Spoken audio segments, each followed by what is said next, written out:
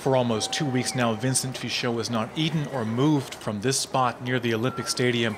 He's on a hunger strike to get his children back from his wife. He claims she abducted them three years ago.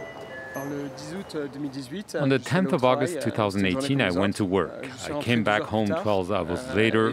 I opened the door. The house was empty. I went into the kids' room. There was nothing there. Even my little girl's bed had disappeared. I called my lawyer immediately. He told me my children had been abducted and that I would probably never see them again. He hasn't seen his children since then.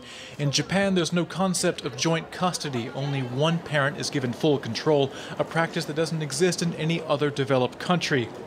This Cameroonian father has a similar story.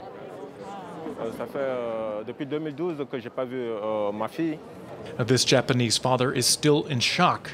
His wife disappeared with their daughter only two months back. I thought about the suicide. Don't give up on your daughter yet. Yeah, for my baby, I have to Thank you. keep living. Separated from their children, these mothers have come to extend their support to Vincent.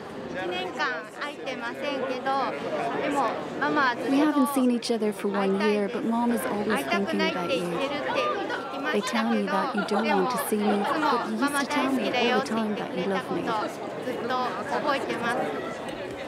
Vincent has gone bankrupt with all the legal proceedings. He's tried everything filing a petition to the United Nations, getting a European Parliament resolution, and even meeting the French President Emmanuel Macron, but nothing has worked so far. You come here every day? Oui, j'essaye. Deux fois par jour. Deux fois par jour. So you are the Iceman. Voilà, je suis le monsieur Glaçon. De pouvoir comme ça séparer euh, euh, les enfants euh, soit d'un père, soit d'une mère, c'est euh, incompréhensible. C'est incompréhensible.